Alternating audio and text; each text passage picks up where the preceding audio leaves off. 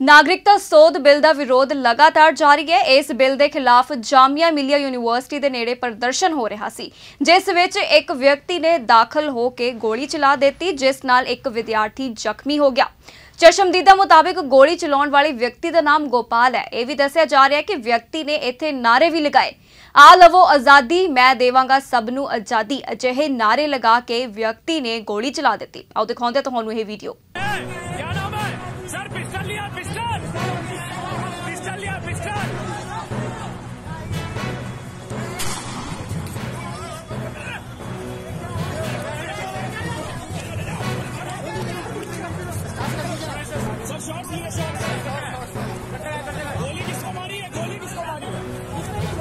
go short. Just short, go short, short.